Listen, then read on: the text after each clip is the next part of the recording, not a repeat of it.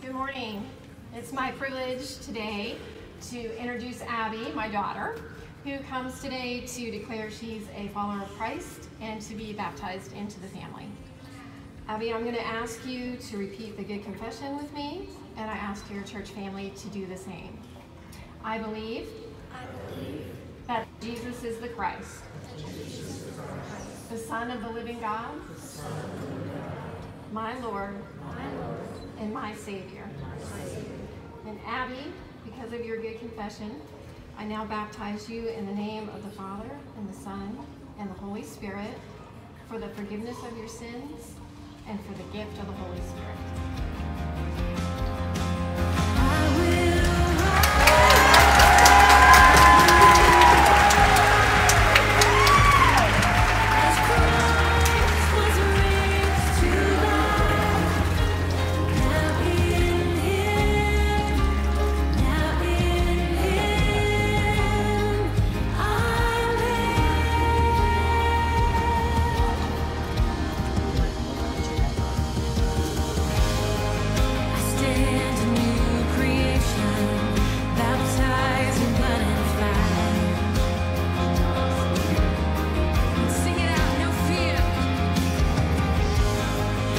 Fear of